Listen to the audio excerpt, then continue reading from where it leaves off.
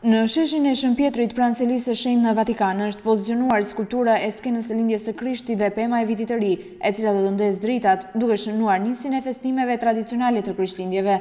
Sipas traditës, çdo vit, pema e Krishtlindjeve në Vatikan është një dhuratë që i bëhet selisë së shenjtë nga qytete apo dioqeza të ndryshme të botës. Sivjet, kjo pemë është dhuratë nga rajoni Friuli Venezia Giulia dhe nga Dioqeza e Komunës së Pordenones, kërkesa e të cilëve u pranua pas dhjetë viteve pritje. Ky rajon u fut në listën e pritjes për një dhuratë kaq simbolike edhe të rëndësishme për Vatikanin. Pema e zgjedhur nga ky rajon është një pishë e kuqe shtatëdhjetë vjeçare. Pema peshon tre tonë, është e lartë njëzet e një metra dhe ka një diametër bazë që shkon deri në dhjetë metra.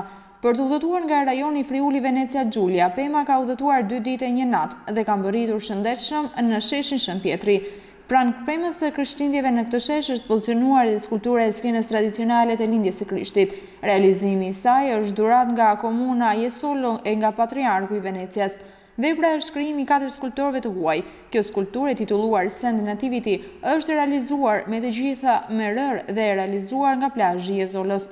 Për krijimin e saj janë përdorur mbi shtatëqind tonë rërë. Katër skulptorë kanë punuar për katërmbëdhjetë ditë në sheshin e Shën Pjetrit.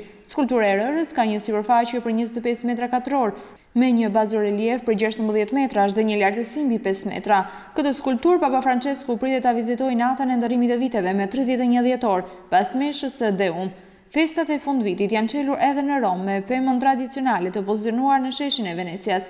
Sivjet, kjo pemë është një bredh origjinal i mbërritur nga komuna e Çitiljos në provincën e Varezës. I zbukuruar me mbi gjashtëdhjetë mijë drita dhe i pesëqind sfera shumëngjyrëshe, bredhi është i lartë njëzet metra.